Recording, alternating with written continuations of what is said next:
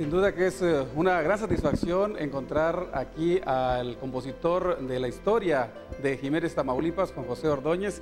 Eh, platíquenos, por favor, cómo es que le inspira a usted el dedicarse precisamente a esta composición. Bueno, porque este, Jiménez eh, fue donde yo estudié, donde yo me desarrollé, mi infancia, mi adolescencia, Luego fui a Victoria, estudié el instituto, estudié de maestro y cumplí mis 30 años de servicio y me jubilé. Y cuando yo me jubilé, eh, no quise dejar los ratos pues, libres que yo tenía, pues eh, me hice de una guitarra y comencé a componer canciones, corridos.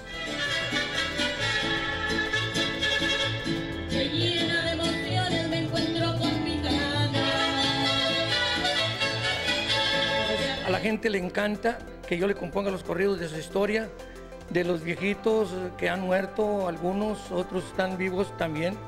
Le digo, es mejor componérselos ahorita en vivo, no ya en el panteón porque no los escuchan. El profe Javier este, pues me subió eh, a internet y, y resulta que me estoy haciendo ya famoso. Y ya todos traen, eh, están viendo mi canción y bueno, pues me da mucho gusto a mí también.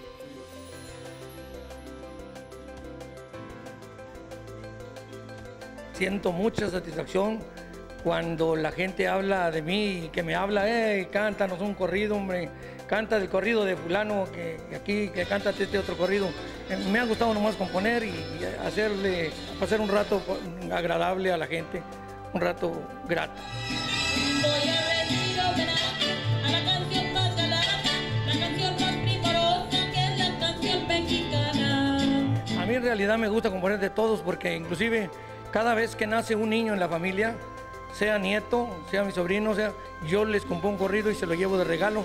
En lugar de llevarle otro regalo, yo mi, regalo es este disco, mijo, y a la mamá, y pues cuando esté grande que se acuerde que yo se lo compuse.